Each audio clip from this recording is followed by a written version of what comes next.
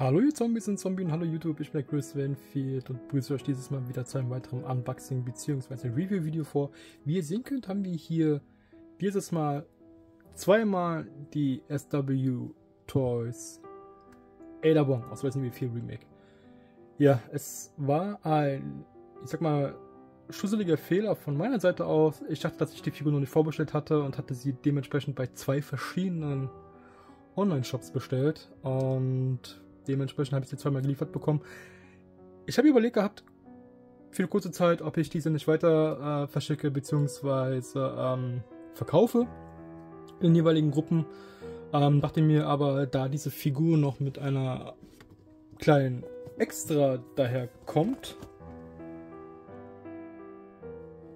wie man sehen kann, dazu später mehr, ähm, dachte ich mir, stellst du beide Figuren vor, beziehungsweise stellst diese Figur vor und setzt dann diese Figur zweimal in dem Video ein und zeigst sie dann dementsprechend dann nochmal im direkten Vergleich. Einmal diese Version und einmal, ich nenne das einfach so die OnlyFans-Version. Also als, als Ada Wong jetzt hier irgendwie so eine Art OnlyFans-Gedöns machen würde. Ähm, nichts gegen OnlyFans, ich respektiere jeden, der diesen Schritt wagt, ne? Ähm, aber ich hätte das bei Ada Wong irgendwie nicht gebraucht, definitiv nicht. Und dementsprechend hätte ich mir da vielleicht was anderes gewünscht. Vielleicht so eine Art Battle-Damaged-Version dieser Klamotten, die ein bisschen äh, zerrissener sind oder halt ihr Gesicht, das so ein bisschen, ähm, ich sag mal, ausdrucksstärker wäre. Aber ich glaube, darum kümmern wir uns dann im Video nachher, beziehungsweise im Laufe dieses Videos. Ähm, ich würde sagen, wir gucken uns das Verpackungsdesign kurz an und machen dann gleich weiter mit der Figur. Ja, das Verpackungsdesign, wie man es halt kennt, so ein Schuhkartonbox, ne, es ist halt hier einfach nur mit so einem Tesafilm Sealet und mehr ist es halt nicht. Aufmachen, hochziehen. Da habt ihr eure Figur. Wir haben hier ein super Porträt von Elavong, wie ich finde. Es wird euch auch gut mit der Unschärfe gespielt, wie man in diesem Bereich sehen kann. Das Logo von SW Toys.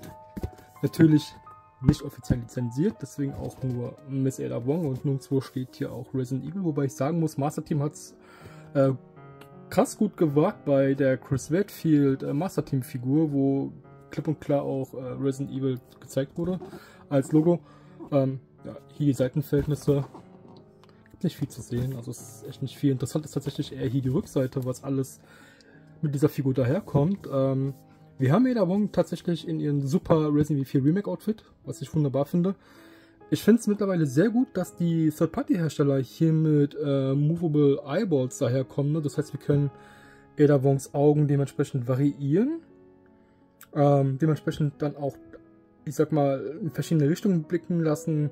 Das gibt uns dann halt mehr, ich sag mal, Variation im Posing. Ne? Da kann man sie definitiv besser ausstellen, denke ich. Ihr Enterhaken, eine kleine TMP, Pistole, Funkgerät, die wir jetzt zum x Million Mal wahrscheinlich in der Sammlung haben werden. Verschiedene Hände finde ich nice. Ähm, Goldene Ei ist ein netter Zusatz und die Last Plagaspore. Darauf bin ich gespannt. Und für alle Pre-Order gab es das Outfit hier als Bonus dazu. Ich bin gespannt, wie das dann aussehen wird und ob ich die Edavon dann auch so in der Vitrine ausstellen werde. Ich bin auch auf den Body gespannt, wie die Proportionen sind. Das ist ja immer so, geht eher in die Richtung Sex Salz, ne? Ähm, aber gut, das sehen wir dann, denke ich, gleich. Okay, ich würde sagen, ich packe die Edavon aus und wir schauen uns dann mal an, wie diese Figur verarbeitet ist. Das Phänomen bei diesen Third-Party-Herstellern, insbesondere bei SW Toys, ist, dass die Figuren einfach abscheulich müffeln. Dementsprechend halte ich mal ein bisschen Abstand. Ähm, ja, Schuhkartonbox, wie gesagt. Ihr habt dann hier diesen Schutzfilz davor, das ihr entfernen müsst. Und Sian, Sian, da ist die Figur. Ähm, so schaut es dann aus. Genau, da habt ihr euer Zeugs mit drin. Die Hände, ich packe mal die ganzen Accessoires erstmal beiseite. Okay, das ist wahrscheinlich ihr OnlyFans-Gedöns. Darauf bin ich gespannt. Ja. Wie immer fangen wir, denke ich, zuerst mit den ganzen kleineren Teilen hier an, Accessoires, und dann gehen wir rüber zum Headsculpt. Und ich hatte vergessen gehabt, dass dieser, dass diese Figur mit zwei verschiedenen äh, Headsculpts daherkommt. Äh, ich bin gerade, genau, doch positiv überrascht fürs Erste. Ähm, man hat ja so einen neutralen Blick und einmal noch so einen, ich sag mal, leicht grinsenden, verführerischen Blick. Aber im Video dann mehr. Okay, das, was ihr hier seht, das bekommt ihr auch. Ne? Also wir haben hier die Waffen, wir haben hier die Hände und wir haben hier ein paar Accessoires bzw. kleinere Zubehörteile. zweiten Headsculpt. Schauen wir uns gleich näher an. Die Unifence-Aktion, die ähm, Waffenholzer bzw. Gutschnallen. Noch mehr Holzer. Ich bin allerdings nur nicht dahinter gekommen,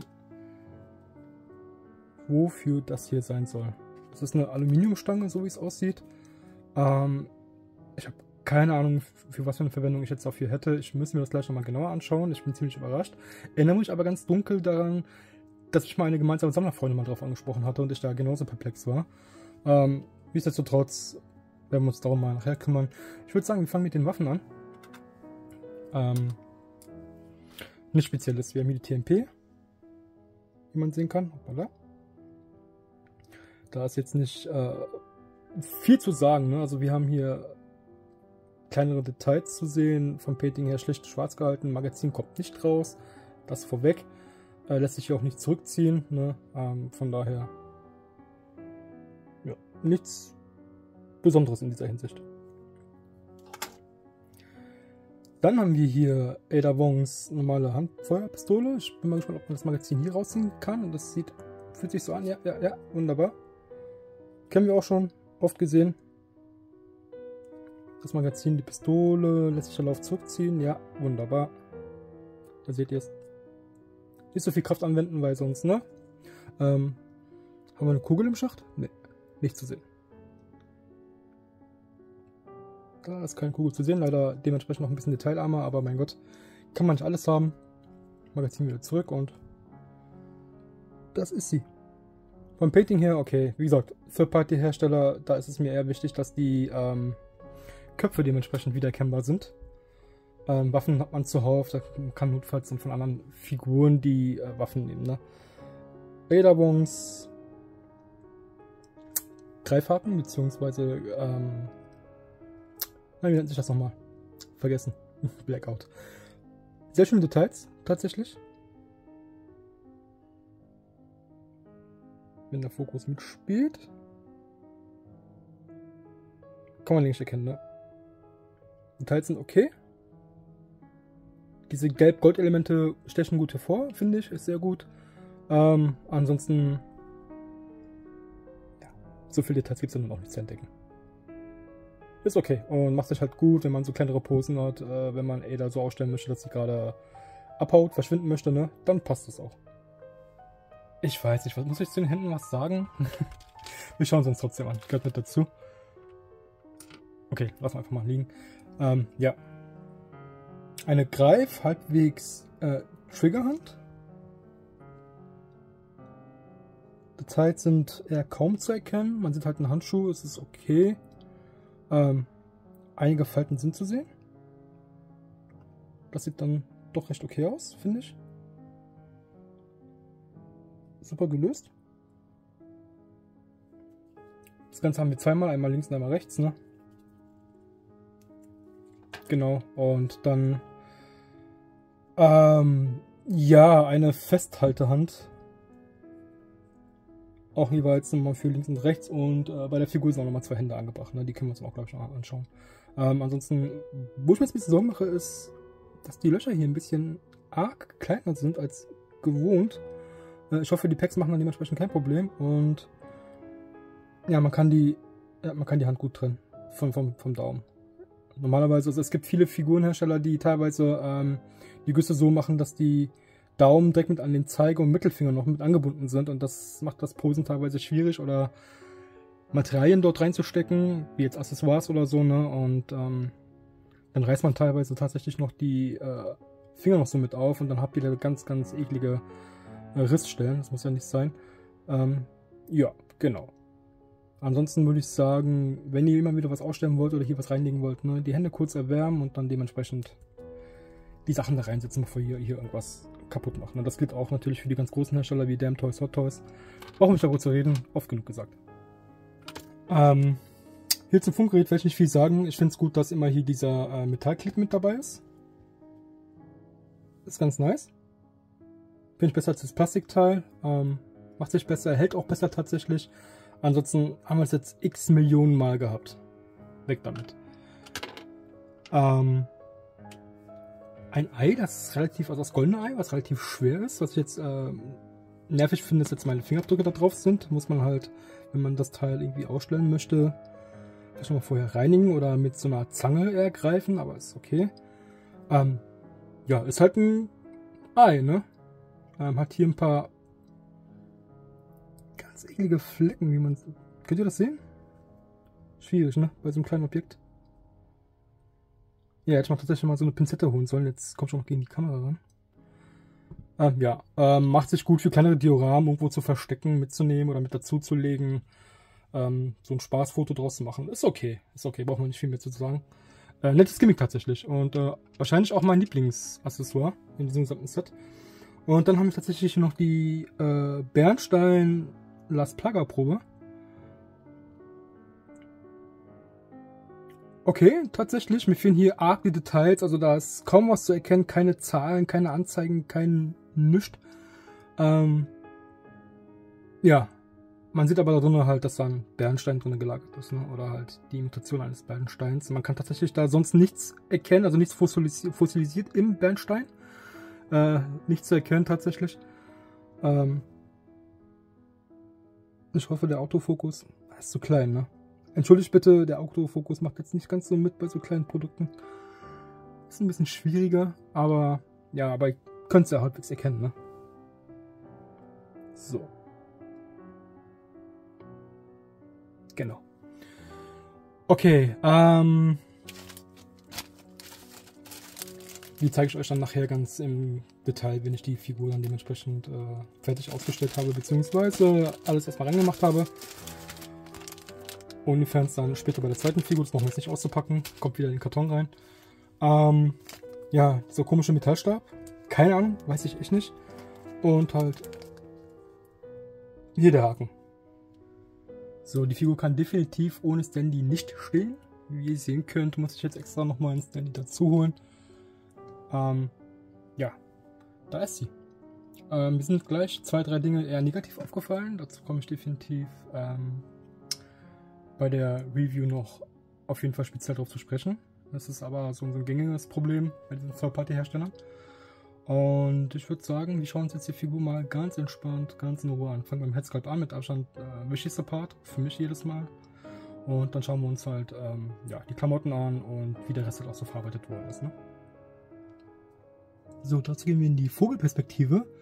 Und ähm, ich muss sagen, dass mir der Headsculpt hier im ersten Blick und wahrscheinlich auch dann darüber hinaus im Moment nicht gefällt. Ähm, nicht, weil es schlecht verarbeitet ist, sondern der Wiedererkennungswert ist nicht da.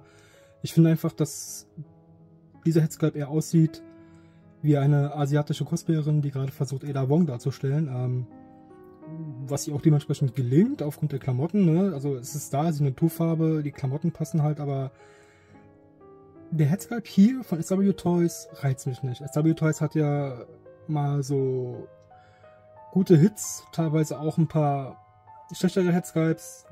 Diese gehört definitiv nicht zu den guten, finde ich. Warum? Zeige ich euch gleich. Ähm, die sieht für mich nicht aus wie Edavon. Klar, der Haarschnitt ist da. Scheitel, es sieht alles ganz okay aus. Ist auch gut gesculptet tatsächlich. Also da braucht man echt nicht viel zu meckern. Ähm, die Proportionen passen irgendwie für mich nicht. Also irgendwie ist mir der Abstand von den Augen bis zur äh, Haaransatz, bis zum Haaransatz da oben irgendwie zu viel, too much. Ähm, und der Kinnbereich ist halt irgendwie kleiner, weswegen die Backen und so weiter vom Volumen her viel, viel mehr, ähm, viel voller wirken. Ähm, die Ohren sind spitze, kann man nicht meckern. Äh, Make-up-technisch, die Lippen glänzen auch nicht zu sehr. Also dieser Lipgloss-Effekt ist super gut und um die Augen herum ist auch alles super gepainted. Braucht man echt nicht zu meckern. Ne? Also man kann auch gut Wimpern erkennen. Es ist alles sehr gut gemacht, aber ich erkenne halt hier nicht wirklich so die Edavon. Finde ich jedenfalls. Und das ist halt so ein bisschen... Meh. Passt mir nicht so ganz. Man muss auch sagen, aufgrund ihrer Halsform hier... Mal kurz mal rausnehmen. Na komm. Wirkt es so, ähm, als ob sie fast gar keinen Hals mehr hätte. Ne? Also klar, der Kragen geht hier relativ weit nach oben. Hat auch schon gut abgefärbt, wie man sehen kann. Ich hoffe, ihr könnt sehen. Ähm, ja, hier am Kopf halt. Ne? Da sind so ein paar rote Ecken, aber gut, das stört jetzt niemanden, weil man es eh nicht sieht. Ähm, würde der Kopf vielleicht ein bisschen weiter oben sitzen und man noch ein bisschen was am Hals sehen könnte, wäre es tatsächlich besser, finde ich. Nur ein Ticken. Ja, und ähm, die Proportion, die, wenn ihr versteht, was ich meine, die hauen halt, ist einfach too much. Also das ist ein Ticken kleiner, wäre nicht verkehrt gewesen tatsächlich. Und äh, hier Andeutung der Nippeln, das ist, ja, ist halt Sex jetzt, ne? Ansonsten ist die Figur halt soweit ganz okay. Ne? Also Buddy passt soweit, bis auf hier und der Bereich vielleicht hier unten. Ist okay. Ähm, die Stiefel sind identisch wie äh, die der Master Team war das, genau. Die Master Team Ederbong. Resident Evil Remake vom Accessoire Set. Definitiv. Ähm, ja, es ist ein Ruber Body. Ihr könnt hier meinetwegen crazy Poses ohne Ende machen, wenn man äh, die Dings sowieso nicht sehen kann die Armgelenke, weil es halt schön drüber ist. Also da könnt ihr wirklich crazy to äh, Posen machen, euch damit dann richtig austoben. Ähm, jetzt kommen wir zu dem Punkt, den ich nicht so cool fand, den ich gerade eben angesprochen hatte. Die Klamotten haben hier ordentlich abgefärbt. Da kann man es gut sehen. Da auch. Das ist aber jetzt auch kein, ähm, ähm, kein, kein Fehler der, der kleineren Third-Party-Hersteller. Nein, es passiert auch den großen, sogar Hot Toys. Ne? Also, wenn ihr wirklich einen Buddy haben wollt, der clean bleibt, kurz aus, rausnehmen, Wasser halten, auswaschen, damit die Farbe ein bisschen abfärbt, weggeht und dann könnt ihr die Sachen wieder rüberziehen. Ansonsten kann man zum Body eigentlich nichts sagen. Äh, die Strumpfhose, ich mal kurz demonstrieren, geht halt bis nach oben. Ich denke, bei dem OnlyFans-Gedöns muss man das Ganze hier ausziehen und dann dementsprechend ausstellen. Muss ich mal gucken, wie ich das am besten nachher handhabe. Aber ich glaube, ohne Strumpfhose würde es viel besser aussehen. Ja, ansonsten kann man halt die Hüfte sehr gut drehen. Neigen. Hm? alles möglich. Genau, und das Coole ist halt bei diesen Headscarps, leg's mal kurz beiseite. Ähm, muss mal gucken, wo jetzt hier der Ansatz ist, um... Oh. Das ist meiner Meinung nach jetzt nicht gut gelöst. Schwierig. Okay, genau. Ihr habt hier halt diese zwei Packs für die Augen, damit ihr Räderwogen dann dementsprechend ja, wahrscheinlich nicht so aufstellen könnt. Ja, genau. Ähm, Optus hat da tatsächlich eine sehr gute Lösung gehabt. Und zwar haben sie da so ein extra so, so einen Stift, womit ihr die Augen halt bewegen könnt. Das macht mir halt bei den Third schon immer jedes Mal Angst, weil ich das Gefühl habe, man halt doch schon mit Nachdruck gehen muss, weil ich Angst habe, dann diese hier auch irgendwann kaputt zu machen. Weil die dann halt so locker werden, dass sie irgendwann nicht mehr halten. So, ein bisschen. Das sieht gut aus. Das ist okay. Ähm, genau, magnetisch das Ganze. Leider nur zwei kleine Magnetpunkte. Ich weiß nicht, ob die gut halten werden. Genau, mein Problem ist jetzt hier gerade, ähm, das hier anzubringen. An diesen Schalter. Also ich hätte mir gewünscht gehabt, dass man vielleicht hier einen Cut gemacht hätte. Und man das dann komplett so abziehen kann, weil jedes Mal mit der Stirn hier an die Haare ran besteht die Gefahr, dass ihr eventuell dann hier die ganzen Stirnbereiche abfärbt. Ne? Das muss ja echt nicht sein. Aber wir hoffen, dass das eventuell nicht so kommt. Packen wir das mal zurück. Genau. So. Ja, hier kann ich, glaube ich, Ada Wong doch ein bisschen eher erkennen tatsächlich. Also es geht. Es ist okay. So, hab jetzt mal diesen eher grinsenden, verführerischen Blick jetzt gerade reingeholt. Hm. Ist okay. Ich denke, man muss halt gucken, wie man sie am besten Pose mit den Augen und vor allem auch die Pose an sich, ne, Hüfte, Kopf und so, Kopfneigung, dann könnte es eventuell passen. Dann könnte es eventuell passen. Ähm, was ich jetzt nächstes machen, oder was ich als nächstes machen werde, ist, ich werde mal die nächste Werbung auspacken, also die andere, SW Toys, und werde ihr mal einfach mal diesen OnlyFans-Anzug überziehen und dann machen wir mal einen kleinen Vergleich zwischen diesen beiden Figuren. Ich möchte euch das nochmal demonstrieren. Man kann hier gut äh, die Detailverliebtheit erkennen. Also man sieht doch ein paar Adern, wenn man genauer hinguckt. Das ist schon ziemlich nice gemacht. Das gefällt mir. Da kann man echt nichts meckern. Und ich denke, wenn man die Augen dementsprechend Pose und Ada-Flächen auch dementsprechend eine Pose setzt, könnte man die Resident Evil Remake Ada erkennen. Da muss ich nochmal für mich selber gucken, wie es am Ende natürlich passt. Und ob dann natürlich auch ähm, das Ganze auch halbwegs akkurat ist. Also ich will jetzt nicht voreilige Schlüsse ziehen, aber im Moment bin ich noch nicht ganz so überzeugt.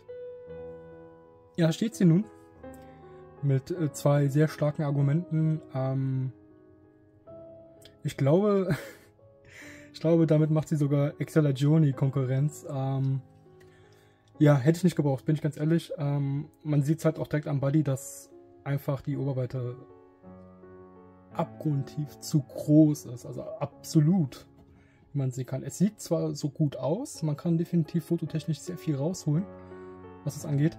Ähm, man sieht aber, dass der Oberkörper allein durch ihren, äh, durch ihren Klamotten schon rot abgefärbt hat. Ne? Man sieht auf jeden Fall, dass der Brustbereich ähm, errötet ist.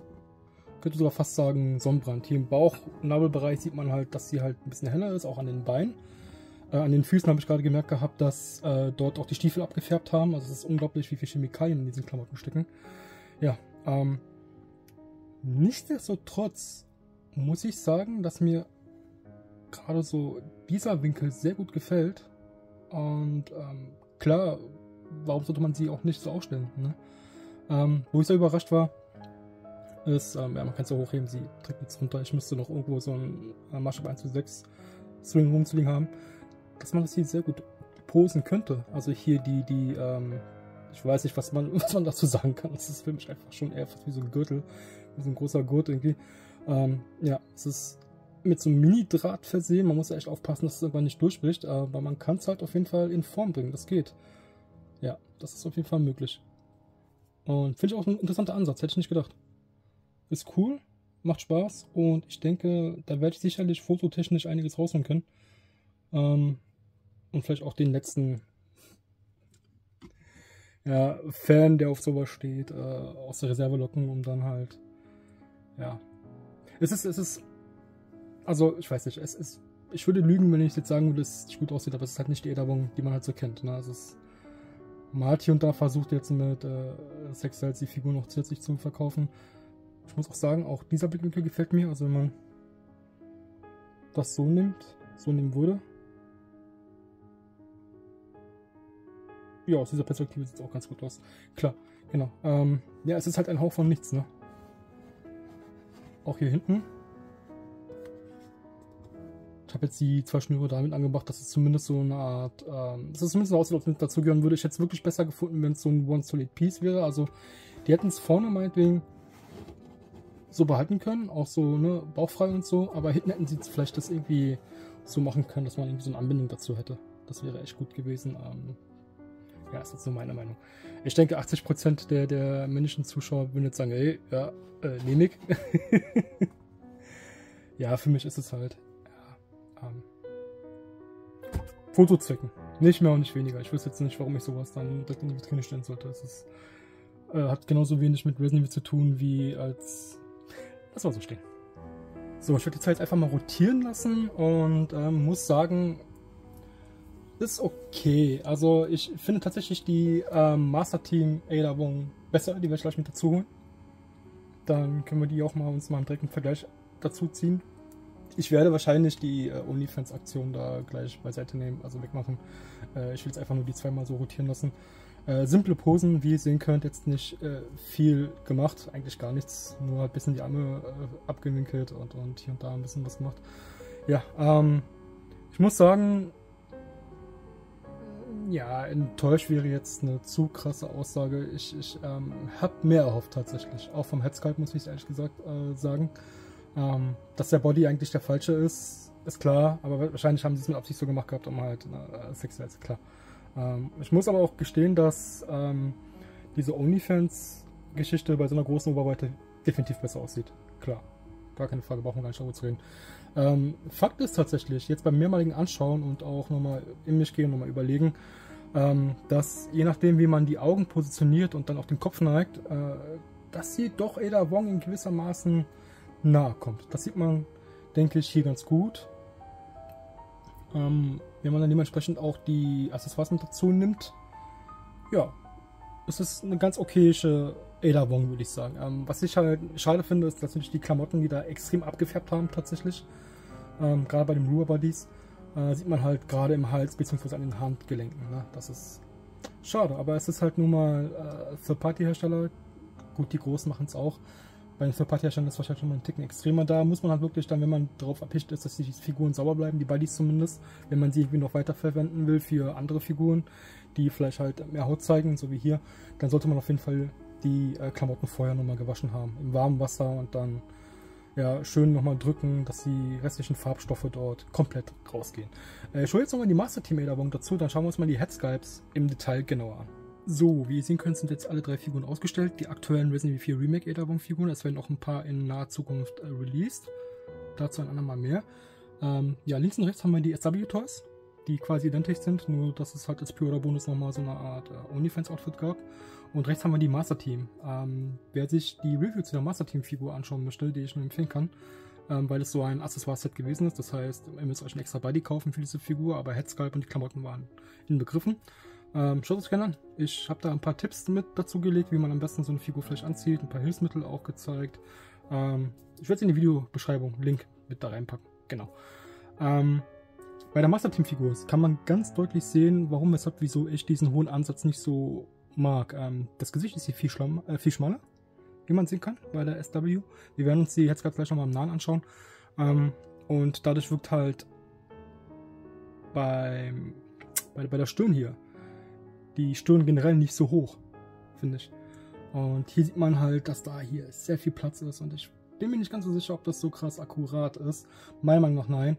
Ähm, deswegen wirkt sie halt auch für mich viel mehr wie so eine Art ähm, XY-Cosplayerin, die gerade Ada Wong darstellen möchte. Ne? Was jetzt nicht negativ gemeint ist, um Gottes Willen. Äh, falls jetzt ein paar Cosplayerinnen dabei sind, ähm, kein Krieg jetzt, ne? Ähm, ich finde halt bei so einer Figur, die man halt ausstellen möchte, äh, in seiner Sammlung haben will, sollte es halt mega akkurat sein. Ne? Also so gut wie es geht. Ich weiß, es sind Third-Party-Hersteller, aber Third-Party-Hersteller haben auch mittlerweile bewiesen, dass sie teilweise richtig gute Headscards machen können. Siehe da. Ähm, genau. Und deswegen wird es halt so ein bisschen verfälscht. Ich finde das Gesicht, auch die Gesichtszüge hier bei der Master Team viel, viel weicher. Das zeigt, es kommt meiner Meinung nach einer Erinnerung aus Resident Evil 4 Remake viel, viel näher. Und wenn man uns jetzt mal so die Seitenprofile anschauen.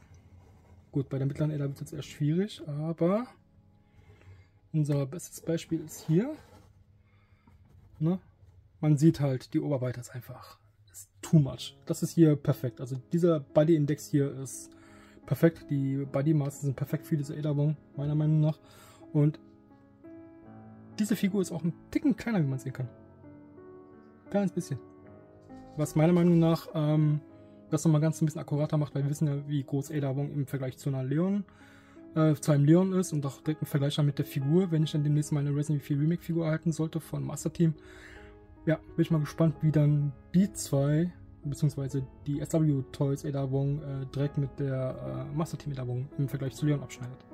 So, wir sind nochmal beide Headscards miteinander ausgestellt und ähm, ja, wie man sehen kann, mein Favorit ist definitiv die Master Team. Das ist die hier links. Ähm, aus den Gründen halt, die ich schon von erwähnt hatte. Das Gesicht ist ein bisschen schmaler, es wirkt zierlicher, viel weicher tatsächlich. Das hier, ja, ist meiner Meinung nach ein bisschen zu breit geraten, das Gesicht. Und die Stirn ist zu hoch.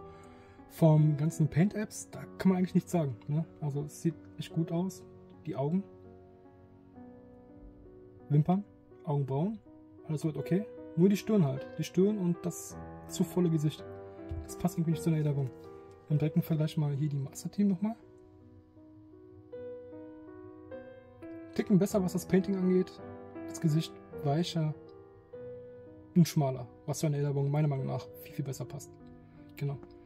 Ähm, die meisten werden jetzt wahrscheinlich sagen, ey komm, äh, die paar Millimeter, die machen bei mir schon ein bisschen was aus tatsächlich. Ähm, Wenn es so diese paar Millimeter sind, dann ist es halt bei mir so. Ähm, nichtsdestotrotz eine brauchbare Figur. Gerade wer auf diese OnlyFans-Geschichte halt steht, äh, für ihn ist es quasi, oder für die Person ist es halt wie geschaffen, so etwas auszustellen. Ähm, ich packe jetzt die Master Team beiseite und mache nochmal so eine kleine Endwertung für, diese, für dieses kleine Set. So im Großen und Ganzen muss ich sagen, das Set ist für mich eher okay. Die Accessoires bringen es tatsächlich, also das goldene Ei und die Las Plaga-Probe, die in diesem Bernstein gefangen ist, ist ganz nett. Ähm, die wird wahrscheinlich eher dann meiner Master Team Erinnerung geben. ähm, ansonsten, wer vielleicht die Master Team Accessoire-Geschichte verpasst hat, definitiv eine Alternative. Ich würde tatsächlich eher die Bodies auswechseln, weil ähm, die Oberweite wirkt einfach zu groß. Ihre Statur ist auch ähm, viel maskuliner, finde ich. Und hat so nicht dieses äh, weiblich-athletische, die die Master Team Erinnerung mit sich bringt und die Erinnerung generell ausstrahlt, finde ich. Genau. Ähm, ein großer Problem für mich war tatsächlich, dass hier die Klamotten abgefärbt haben, wie man sehen kann. Das habe ich erwähnt gehabt, gerade jetzt hier bei der ähm, normalen Klamottenederung. Ihr könnt es ganz gut sehen, ich habe die Hände jetzt so gepostet, dass man es hier noch ganz gut sehen kann, die Abfärbung. No-Go, muss man gucken, dass man vielleicht so mit äh, leichten Mitteln diese Farbe eventuell löst bekommt. Wenn nicht, ähm, ja, muss man eventuell damit leben und die vielleicht die Ärmel so weit hoch, äh, nicht hochkrempeln, sondern runterkrempeln, dass man dann ähm, diese Verfärbung eventuell nicht sieht. Ne? Eine klare Empfehlung ist für mich, die Klamotten nochmal kurz auszuwaschen. Definitiv. Ja, ansonsten, Preis, Leistung, okay, ich glaube, ich habe für das Set mittlerweile 200 bezahlt, 220. Ungefähr in dem Dreh waren es. Die SW Toys Figuren kosten meistens ja nie so teuer, fangen bei 170 an, manchmal auch bei äh, bis zu 200. Die Preise steigen natürlich, je mehr sie, ähm, sag mal, Technik mit reinbringen, wie jetzt zum Beispiel diese Movable Eyeballs, ne, die ja mittlerweile fast jeder Third-Party-Hersteller jetzt auch mittlerweile drin hat, ne, wie bei den ganz großen. Ja, ähm, dafür, dass man zwei Headscarps bekommt und zusätzlich noch so eine Ausstellungsvariante wie diese hier, ist es okay tatsächlich. Ne? Ähm, eine Kaufempfehlung, wenn ich mich direkt entscheiden müsste, ihr habt ja gerade die Vergleiche gesehen gehabt, schaut euch meinetwegen gerne nochmal das äh, Master Team Ederbong Video an. Ähm, ist für mich definitiv äh, die, die Master Team Ederbong die klare Gewinnerin, was äh, Headsculpt definitiv angeht. Das Painting generell. Ähm, die Klamotten, die noch nicht so krass abgefärbt hatten bei dem Buddy. Ähm, und natürlich was auch die Proportion angeht. Die, da gewinnt tatsächlich die Master Team Ederbong. Okay, ähm, am Ende, wie ihr es von mir kennt, gibt es noch vielleicht ein, zwei Posen. Ich werde jetzt nicht so viele Posen rausholen, weil die habt ihr ja schon ein paar Posen gesehen gehabt bei der Master Team Ederbong. Schaut euch schon mal da gerne die Posen an. Wie gesagt, Link Videobeschreibung. Und ich würde sagen, wir hören uns dann beim nächsten Mal wieder. Es gibt definitiv noch ein paar Figuren, die ich auspacken muss, euch vorstellen möchte. Allen voran Damn Toys. Das soll aber beim nächsten Mal werden. Ne? Ich bin der Chris Renfield. Danke fürs Zuschauen. Bis zum nächsten Mal. Ciao, ciao.